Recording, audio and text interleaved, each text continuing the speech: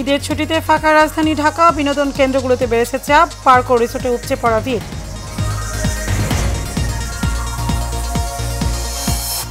মিয়ানমারের উস্কানিতে কান দেবে না বাংলাদেশ, বললেন ওবায়দুল কাদের, আক্রান্ত হলে সমুচিত জবাব দেওয়ার হুঁশিয়ারি।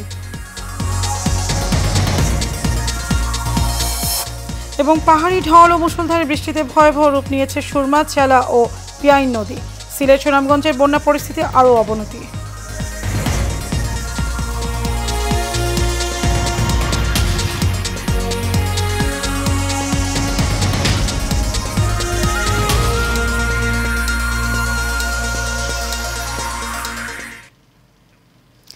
মোবারক সবাইকে পবিত্র ঈদুল আজহার শুভেচ্ছা জানিয়ে শুরু করছে এশিয়ান নিউজ। আপনাদের সাথে আছে আমি মারিয়ামিকো এতক্ষণ শুনছেন বিআরবি কেবল ইন্ডাস্ট্রিজ লিমিটেড সংবাদ শিরোনাম। চলে যাচ্ছি পুরো সংবাদে। শুরুতেই ঈদুল আজহার খবর। ঈদের ছুটিতে পরিবার পরিজনের সঙ্গে আনন্দ ভাগ করতে ঢাকা ছেড়েছেন রাজধানীর অনেক বাসিন্দা। এ তবে ব্যস্ত ঢাকার সড়ক এখন ফাঁকা। নেই ছিড়ছে না যানজট, অনেকটা ফুরফুরে মেজাজে দায়িত্ব পালন করছেন ট্রাফিক পুলিশের সদস্যরা। ফাঁকা রাস্তায় স্বাচ্ছন্দ্যে চলাচল করতে পড়ে খুশি রাজধানীবাসীও। বিস্তারিত নূর মোহাম্মদ ভুইয়া রিপোর্টে। ঈদের ছুটিতে পুরোপুরি পাল্টে গেছে রাজধানী ঢাকার চিরচেনা সেই দৃশ্য। শহরের সড়কগুলো প্রায় ফাঁকা। রাস্তায় গণপরিবহন সংকট, তাই সড়কে নেই যানজট। তবে এমন ফাঁকা সড়কে চলাচল করার আনন্দের সাথে যোগ হয়েছে ভোগান্তিরও। রাস্তা ফাঁকা থাকলেও গাড়ি পাওয়া যাচ্ছে না বলে অভিযোগ যাত্রীদের। গ্রামে যে মুক্ত পরিবেশ সেটা তো আমরা ঢাকা শহরে অনুভব করি না। এই ঈদের ছুটিতে আমরা এটা এই অনুভবটা করতেছি। যানজট নেই খুব ভালো লাগছে চলতে। সব সময় যদি এরকম থাকতো তাহলে আমরা খুব আমাদের খুব ভালো লাগতো। ঢাকায় কোনো লোকজন নাই সব লোক ফাঁকা দোকানপাট বন্ধ খাবার দোকান পাওয়া যাইতেছে না। যার কাছে জিজ্ঞেস করি ভাই এখানে ভাতের হোটেল আছে? বলে না ভাতের হোটেল এখানে নাই এখন রুটি টুটি খাই তোমরা জীবন দান করুন অন্যদিকে যানবাহন চালকরা বলছে যাত্রী কম থাকায় কমছে আয়। তেমন লোকজন নাই তা কি আর অবস্থা হবে? মোটামুটি তেমন ভালো না সব দেশে গেছে রাস্তাঘাট পাকা আছে এখন গাড়ি চালা একটু আরাম পায় কিন্তু যাত্রী একটু কম। কম তাহলে মনে হয় গাড়ি চালা ভালো লাগতেছে। খালি রাস্তায় সবচেয়ে স্বস্তি ট্রাফিক পুলিশের। যানজট না থাকায় আনন্দের সময় কাটছে তাদের। যাত্রীদের চাপ খুব কম এবং প্রাইভেটের গাড়ির এবং সিএনজির চাপ একটু হালকা চাপ আছে। আমরা ডিউটি করে খুব স্বস্তি পাচ্ছি। পাশাপাশি যাতে বেপরোয়াভাবে গাড়ি ঘোড়া না চলে এই জন্যে আমরা সর্বদা ডিউটি করতেছি। তবে মহাখালী এলাকায় দূরপাল্লার বাস যেখানে সেখানে ঘুরানো এবং দাঁড় করিয়ে রাখায় খালি রাস্তায় দেখা দিয়েছে যানজট। Noor Mohammad Bhuiyan Asian Television Dhaka. Eid আনন্দে মেতে উঠেছে বিনোদন পিপসীরা। দর্শনার্থীদের পদচারণে মুখরিত হয়ে উঠেছে নরসিংদী ড্রিম হলিডে পার্ক। বিভিন্ন রাইড উপভোগ করছেন দর্শনার্থীরা মেতে উঠেছেন আনন্দ উল্লাসে। নরসিংদী থেকে মোর্শেদ শাহরিয়ার তথ্য চিত্র এইচ এমিত রিপোর্ট। ঈদের ছুটিতে পুরোপুরি পাল্টে গেছে রাজধানী ঢাকার চিরচেনা সেই দৃশ্য। শহরের সড়কগুলো প্রায় ফাঁকা। রাজধানী ঢাকার কাছাকাছি। শহরের কোল ঘেঁষে নরসিংদীর পাঁচজনায় অবস্থিত ড্রিম হলিডে পার্ক। ঈদকে কেন্দ্র করে দর্শনার্থীদের উপচে পড়া ভিড়ে মুখর হয়ে উঠেছে পার্কটি। ঈদের দিন থেকে প্রতিদিনই অসংখ্য মানুষ এখানে ঘুরতে আসছে। ঈদ আনন্দ উপভোগ করতে বেসরকারি ব্যবস্থাপনায় গড়ে ওঠা দৃষ্টিনন্দিত এই পার্কে সপরিবারে বেড়াতে আসা অনেকে বেছে নেন নান্দনিক কটেজগুলো। পার্কটিতে রয়েছে অসংখ্য রাইড। ঈদের দিন থেকে শুরু হয়ে নারী পুরুষ সহ সকল বয়সের পর্যটকদের আগমনে সকাল সন্ধ্যা কানায় কানায় পরিপূর্ণ হয়ে আছে পার্কটি। ঈদের আনন্দের সবাই আনন্দে আরও বেশি আনন্দ বাড়াতে আমরা এখানে এসেছি। সবাই মিলে মজা করব। আমার মামা মামি খালু নানু সহকারে ফ্যামিলি সবাই মিলে জায়গায় আসেছি। কারণ আমি এখানে ফ্যামিলির সাথে টাইম স্পেন্ড করা ওয়ান অফ দ্য বেস্ট আমি মনে করি। এটাই আমাদের ফার্স্ট টাইম অনেক জায়গায় দেখছি। কিন্তু কোনোদিন মানে সরাসরি আসা হয় নাই। ঈদের ছুটিতে আসতে পারি না তো মানে সময় থাকে না। এখন ঈদের ছুটি পাইছি আসছি একটু ভালো লাগতেছে এনজয় করতেছি। এর আগে আসি না এই প্রথম আসলাম খুবই ভালো লাগল এবং দেখতে খুব সুন্দর। পার্ক কর্তৃপক্ষ জানিয়েছে দর্শনার্থীদের চাহিদার বিষয়টি বিবেচনায় রেখে প্রতি বছরই পার্কে নতুন আকর্ষণ রাখা হয়। নতুন নতুন রাইড সংযোজন করা হয়েছে। এবং আমাদের দেশীয় বিভিন্ন ডিস্ট্রিক্ট থেকে পর্যটন আহ, পর্যটকরা আসে। সেটার দিক বিবেচনা করে আমরা এখানে পর্যাপ্ত সিকিউরিটি ব্যবস্থা করা হয়েছে। আমাদের নিজস্ব এখানে আনসার ক্যাম্প আছে। ইভেন আমাদের নরসিংদী প্রশাসনও আমাদেরকে পর্যাপ্ত নিরাপত্তা ব্যবস্থা করেছে। সবকিছু মিলে আমরা মানে এমন বর্ণিল সাথে সজ্জিত যে ডিমোরেটে পার্কে যেই বয়সে যারাই আসবে, তারা আনন্দ নিয়ে বাড়ি যাবে। ঈদে প্রতিটি বিনোদন কেন্দ্রেই দেশের বিভিন্ন প্রান্ত থেকে আসা পর্যটকরা ভিড় জমিয়েছে। H M Itu Asian Television. রাজধানীর লালবাগে পোস্তায় চলছে কোরবানি পশুর চামড়া বেচা কেনা। মৌসুমি ব্যবসায়ীরা ট্রাক ভ্যানে চামড়া নিয়ে আসছেন পোস্তায়, তবে প্রত্যাশা অনুযায়ী দাম পাচ্ছে না বলে অভিযোগ করেন তারা। এইচ এম আরও একটি রিপোর্ট। মৌসুমী ব্যবসায়ীদের পাশাপাশি মাদ্রাসা ও এতিমখানার প্রতিনিধিরা ট্রাক, ভ্যান ও রিকশায় করে কোরবানির পশুর কাঁচা চামড়া নিয়ে আসেন লালবাগ পোস্তায়। আড়তদারেরা সেই চামড়া দরদাম করে কিনছেন। কেনার পর আড়তেই সেই চামড়ায় লবণ লাগাচ্ছেন শ্রমিকেরা।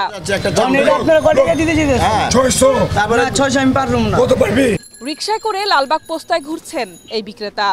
দর কষাকষি চলছে কিন্তু কোথাও পাচ্ছে না প্রত্যাশা অনুযায়ী দাম। আমি খবরও দেখেছি চামড়ার দাম বারোশো টাকা। কি এর কি এর খবরের জায়গা নিয়ে যাও চামড়া। খবরের জায়গা সরকার রেট দিছে বারোশো টাকা চামড়া লবণ জাত চামড়া। এই চামড়া তো না লবণ জাত একটা চামড়া লবণের খরচ আছে কত? মিনিমাম চারশো টাকা খরচ আছে একটা চামড়া আপনার কত টাকা দিতে হ্যাঁ। কাঁচা চামড়া যেগুলো আছে ওগুলো আপনার ছয়শো টাকা সাতশো টাকায় দিতেছে। ওনারা গত বছরের থেকে বেশি দিতেছে না। এই চামড়ার দাম তো মনে করেন পনেরোশো টাকা। সিন্ডিকেট হ্যাঁ সিন্ডিকেটের কারণে আট আটশো নশো এক হাজার অবস্থা। এদিকে ক্রেতারা বলছেন লবণের দাম ও অন্যান্য খরচ বেশি হওয়ায় স্বল্পমূল্যেই চামড়া কিনতে হচ্ছে তাদের। লবণের দাম বাড়তি। যখন লবণ ছিল বারোশো তেরোশো ওই যা লবণ চোদ্দ পনেরোশো টাকা। এখানে মালে পড়তে হয় হইতেছে না। বাড়িতে এটা তো কম ট্রেনে ওরা সিন্ডিকেট করে। এখানে আমাদের পোস্তাম মানুষদের কিন্তু কিছু ফরিয়ারা ছোটো ছোটো ফরিয়ারা সব মরে মরে গেল।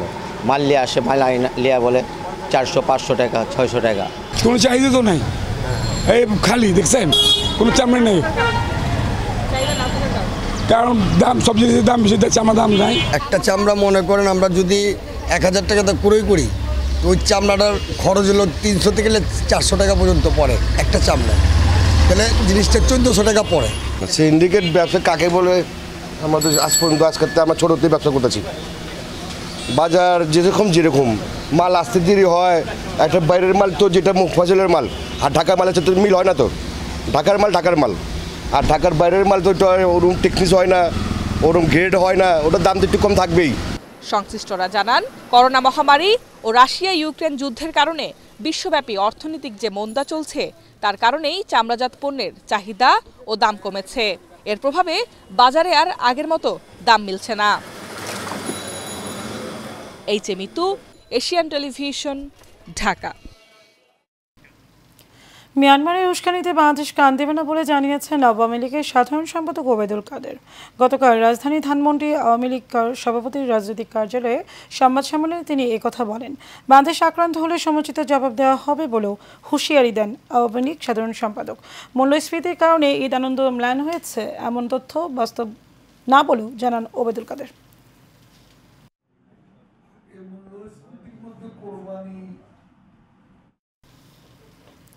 উজান থেকে নেমে আসা পাহাড়ি ঢল এবং মুষলধার বৃষ্টির কারণে সিলেটে অঞ্চলের নদ নদীর পানি বৃদ্ধি পেয়ে বিপদসীমা ছাড়িয়ে গেছে।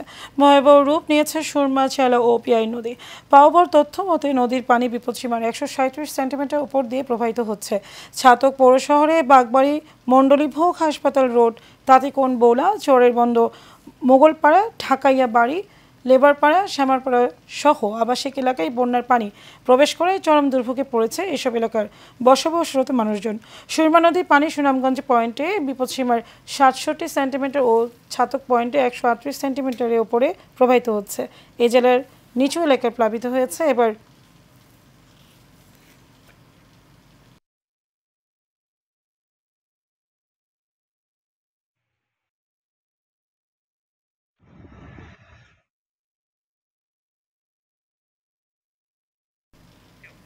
অন্য প্রসঙ্গ। হজের শেষ দিন শয়তানকে পাথর নিক্ষেপ করে মিনা ময়দান ছাড়ছেন হাজিরা। এদিকে হজ শেষ হলেও কয়েকশো হাজির লাগেজের সন্ধান এখনও মেলেনি। মক্কা থেকে কাউসার আব্দুল সালাম প্রতিবেদনে জানাচ্ছেন নারভি ইসলাম হিমু। শেষ দিন শয়তানকে পাথর নিক্ষেপ করে মক্কায় ফিরছেন হাজিরা। একই সাথে আঠারো লাখ হাজির মিনা ত্যাগের কারণে সৃষ্টি হয়েছে তীব্র যানজট রোড টু মক্কা ইনিশিয়েটিভের আওতায় হাজিদের লাগেজ সরাসরি আবাসস্থলে পৌঁছে দেওয়ার কথা থাকলেও হজ শেষ হলেও এখনও কয়েকশো হাজির লাগেজের হদিস নেই। ভারতে আসার পর আমরা লাগেজ পাই না। আমাদের গোসল টোসল ব্যবহারের সব কিছু ওষুধপত্র আমরা খুব কষ্টে আছি। হাজিদের লাগেজের তথ্য না পাওয়াকে লাগেজ পরিবহনের দায়িত্বে থাকা ইউনাইটেড এজেন্সি এবং বিজনেস অটোমেশনের দায়িত্বের অবহেলা মনে করছেন হাব। এই ক্ষেত্রে হাব এবং ধর্ম মন্ত্রণালয় কাজ করছে।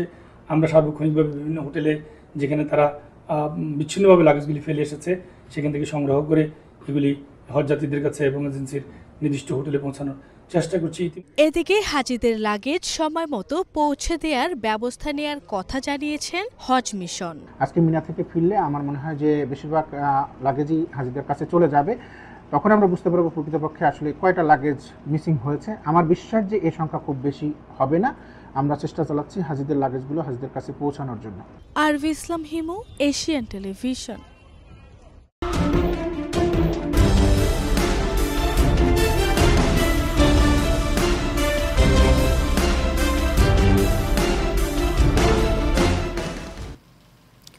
রসায়ন কঠিন নয় বেসিক ও টেকনিক জানতেই হয়। এই স্লোগান কনফার্মে একাডেমি আয়োজিত এমসিকিউ টেস্ট বিজয়ীদের এবং মেডিকেল কলেজ ও বিশ্ববিদ্যালয়ে ভর্তির সুযোগ পাওয়াদের। সম্মাননা দেওয়া হয়। কনফার্ম একাডেমির পরিচালক মোহাম্মদ মনসুর আলী সভাপতিত্বে এতে প্রধান অতিথি ছিলেন চট্টগ্রাম বিশ্ববিদ্যালয়ের সমুদ্র বিজ্ঞান বিভাগের প্রফেসর ডক্টর ওয়াহিদুল আলম। অনুষ্ঠানে বিশেষ অতিথি ছিলেন চট্টগ্রাম বিশ্ববিদ্যালয়ের কম্পিউটার সায়েন্স বিভাগের professor doctor Noushad Chowdhury, Chittagong medical কলেজের নিউরো বিশেষজ্ঞ ডক্টর এস এম সাফায়েত ও ডক্টর আমজাদ হোসেন সহ বিশেষজ্ঞ শিক্ষকরা।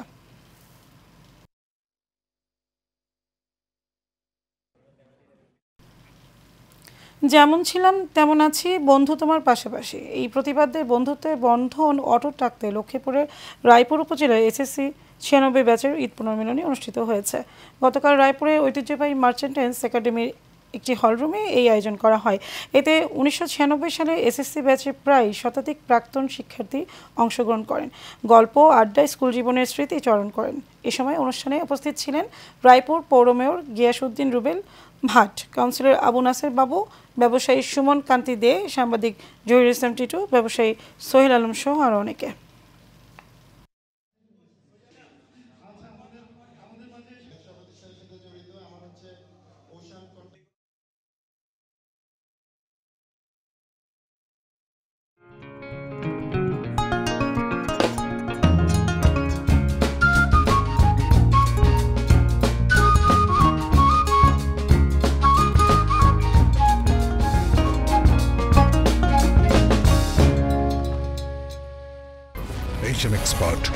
ফাইভ হান্ড্রেড স্বাধীনতার সুবর্ণ জয়ন্তীতে নতুন বাংলাদেশ গড়ার প্রত্যয় HM steel B five hundred CWR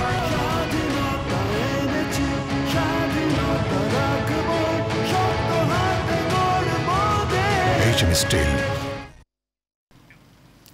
এবার এইচ এই চেমিস্টুল চট্টগ্রাম সংবাদ। চট্টগ্রামে কোরবানির পশু চামড়া নিয়ে বিপাকে পড়েছেন মৌসুমি ব্যবসায়ীরা। এবছর সরকার লবণযুক্ত গরুর কাঁচা চামড়ার দাম নির্ধারণ করেছে। রাজধানী ব্যতীত চট্টগ্রাম সহ সারা দেশে প্রতি বর্গফুট পঞ্চাশ থেকে পঞ্চান্ন টাকা। ছাগলের চামড়া আঠারো থেকে বিশ টাকা, কিন্তু পাড়া মহল্লা থেকে চামড়া কিনে তা বিক্রি করতে গিয়ে বিপাকে পড়েছেন চট্টগ্রামের মৌসুমি ব্যবসায়ীরা। আড়তে আসনারূপ দাম না পেয়ে লোকসানে হতাশ তারা। মৌসুমি ব্যবসায়ীরা জানান, পাড়া থেকে মহল্লা থেকে চামড়া সংগ্রহের পর আড়তদার থেকে কেনা দামেই পাচ্ছেন না তারা। তবে আরতদাররা বলছেন চামড়ার সঠিক পরিমাপের হিসাব না বোঝার কারণে মৌসুমি ব্যবসায়ীরা লোকসান শুনছেন। চট্টগ্রামে কাঁচা চামড়া আরোদ্দার সমবায় সমিতির সভাপতি মুসলিম উদ্দিন বলেন, এবছর সাড়ে তিন লাখ চামড়া সংগ্রহের লক্ষ্যমাত্রা নির্ধারণ করা হয়েছে।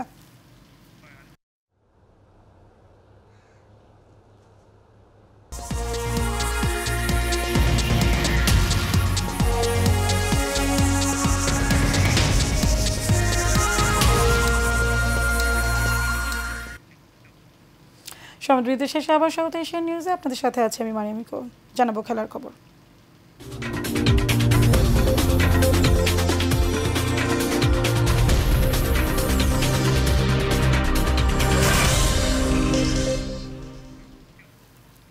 ঈদের আনন্দকে আরও বাড়াতে এবং যুব সমাজকে মাদক থেকে দূরে রাখতে গাজীপুরের কালিয়াকুড়ে আটবো ইউনিয়নে জলসুকা বাজারে বণিক সমিতির উদ্যোগে প্রীতি ফুটবল টুর্নামেন্ট অনুষ্ঠিত হয়েছে। মঙ্গলবার বিকেলে জলসুকা বাজার সংলগ্ন ময়দানে এই ফুটবল টুর্নামেন্টের ফাইনাল খেলা অনুষ্ঠিত হয়। খেলায় উত্তরবঙ্গ স্পোর্টিং ক্লাবকে পাঁচ দুই গোলে হারিয়ে দক্ষিণবঙ্গ স্পোর্টিং ক্লাব বিজয়ী হয়। আটবহ ইউনিয়নে আওয়ামী লীগের সভাপতি এম এ আলিমের সভাপতিত্বে এ সময় আরও উপস্থিত ছিলেন কালিয়াকরের উপজেলা পরিষদের চেয়ারম্যান আলহাজ সেলিম আজাদ, উপজেলা আওয়ামী লীগের ভারপ্রাপ্ত সাধারণ সম্পাদক রফিকুল ইসলাম তুষার। এছাড়া আরও উপস্থিত ছিলেন জলশুকা বাজারের বণিক সমিতির সভাপতি আব্দুল মজিদ, সাধারণ সম্পাদক মোহাম্মদ রমজান হোসেন সহ অনেকে।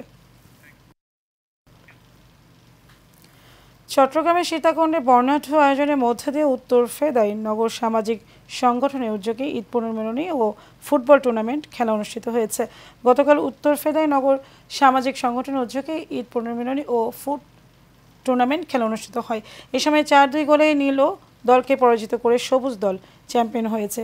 এ সময় খেলার অংশ নেওয়া বিজয়ী খেলোয়াড়দের মাঝে মেডেল ও ট্রফি তুলে দেন সালের ফারুকি, রাশেদ আজমল হুদা, নিলয় ও তহিদুল ইসলাম সহ আরাফাত সহ আরও অনেকে।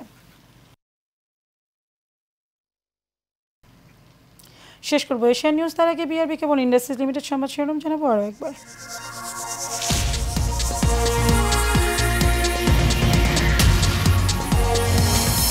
ঈদের ছুটিতে ফাঁকা রাজধানী ঢাকা, বিনোদন কেন্দ্রগুলিতে বেড়েছে চাপ, পার্ক ও রিসোর্টেই উপচে পড়া ভিড়।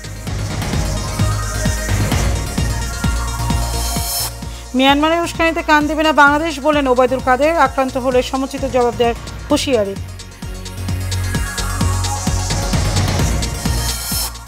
এবং পাহাড়ি ঢল ও মুষলধারে বৃষ্টিতে ভয়াবহ রূপ নিয়েছে সুরমা চালা ও পিয়াই নদী। সিলেটের সুনামগঞ্জে বন্যা পরিস্থিতি আরও অবনতি।